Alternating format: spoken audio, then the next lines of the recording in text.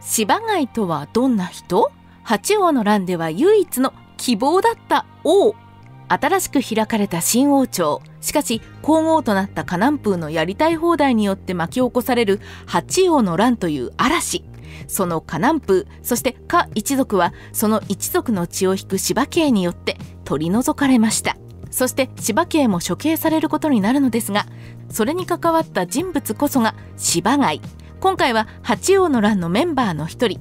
もしかしたら歴史が変わったかもしれない存在。芝貝を紹介していきましょう。調査王芝貝。芝貝は秦の初代皇帝芝園の17番目の子です。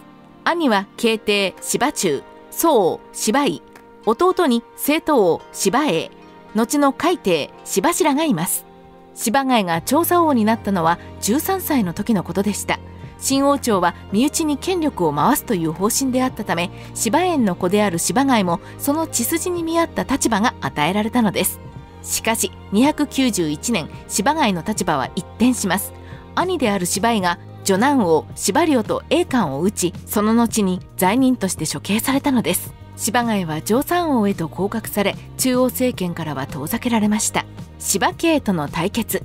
301年再び新王朝の歴史が動きます。芝林による慶帝芝中からの皇位簒奪これに芝家芝栄芝行らによる三王木々に芝貝も参加。この際に芝貝は趙で芝林の家臣らの城を陥落。討ち取り芝栄のもとに駆けつけて味方の寝返りを見抜いてこれを討ち取るという大活躍。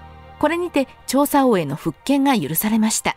しかし次に始まったのは芝家による戦王芝貝はこれに激しく憤り弟芝栄と芝園の墓参りの際にこの天下は父上の築いたものお前もこれを守らなければならないと言ったとされています。この言葉からも芝貝の人物像が少し見えてきますね。疾風怒涛の働き。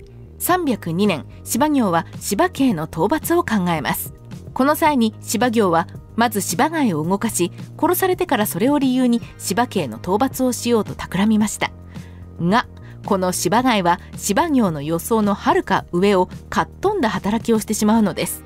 芝貝は100人の兵士たちと共に宮中に乗り込みまずは慶帝芝中の身柄を確保。宮中であるにもかかわらず建物に火を放って容赦なく矢の雨を降らせ逆賊である芝家を滅ぼすのだ。邪魔する者は五族滅ぼすぞ。3日三晩この攻撃は続きその恫喝に恐れをなしたのか芝家は取り押さえられて降伏させられました。こうして芝家は討伐され芝貝は宮中一の権力を持つようになってしまいました。芝貝討伐。芝貝は慶帝芝中によく忠誠を誓い何かを決める際にはよく芝栄と相談するようにしました。がそんな芝貝は芝栄芝行にとっては邪魔な存在でしかなかったのです。そこで芝栄芝行は慶帝芝中に害は無本人ですから討伐しましょうと手紙を送ります。何を言うか芝行こそが私利私欲で動く悪人である。なんとここまで自分の意見など言わなかった慶帝芝中芝行の討伐を芝貝に申し付け自身も出陣するとまで言い出しました。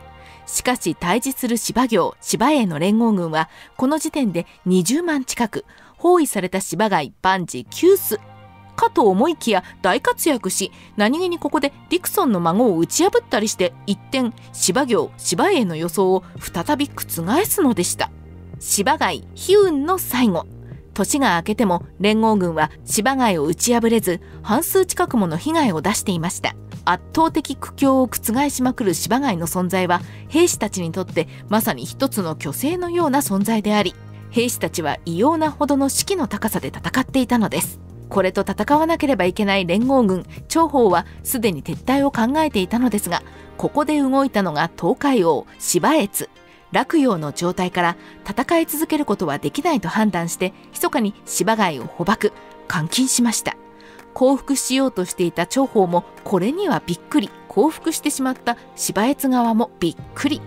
ここで洛陽側では芝貝にもう一回出てきてもらえば戦えるんじゃないかという空気が漂い始めます。これを察した芝越は長宝に密かに連絡を取ります。芝貝は生きたまま焼き殺されました。去年28歳。まさに八王の乱の被害者の一人として終わりを迎えたのです。芝貝という人物。芝貝は明朗な性格。才気にあふれ謙虚で人望が厚く敬帝にも心から扱えた人物と記されています。八王の乱自体は皇后河南風がやりたい放題をやったことで始まりましたがその際にも夫であり皇帝であるはずの敬帝芝中はされるがままでした。しかしその敬帝芝中が唯一自分の意見でもって周囲に飲まれることなく味方した人物です。そのことからも周囲に与える影響力の強い人間だったと伺い知れますね。だからこそ周囲からすると取り除かなければならない人間だったと思うとなんとも皮肉。もしも彼がここで命を奪われることなく生き続けていたらもしかしたら新王朝はもっと続いていたのでは。そう思わせるある種の希望であったと思います。芝貝最後の手紙。芝貝は最後囚われた際に敬帝芝中に上層文を送りました。その中にはこういう一文があります。私は命など惜しくはありませんがただ真が衰退してしまうことを憂いております。そこには自らの保身はありませんでした。保護を求めてもいませんでした。ただ敬帝の身を案じ衰弱していく新王朝父芝園の作り上げた国の行く様をただ憂いた思いだけがありました。もしかしたら彼はこんな世ではなく三国時代に生まれていた方がもっと輝けていたのかもしれません。三国志ライター千の独り言八王の乱のメンバーは何とも言い難いメンバー揃いですがその中でも芝貝は異彩を放っています。ただその存在は陰謀野望渦巻く時代では生き残れないものでした。存在だけで士気を保てる人物はむしろ戦乱の世の中の方が輝けていたのかもしれませんね。もうちょっとだけ続く八王の乱。次回もさらなる深みへ。ポプン